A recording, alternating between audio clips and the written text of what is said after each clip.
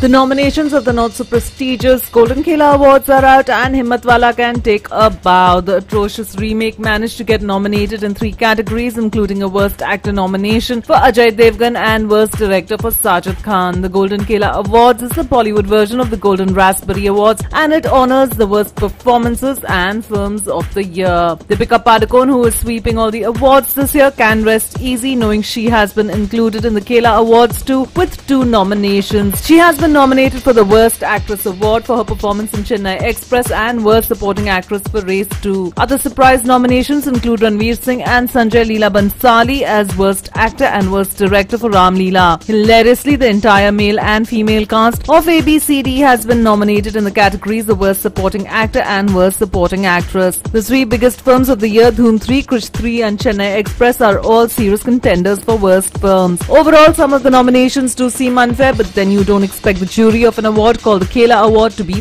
fair. It's all in good fun.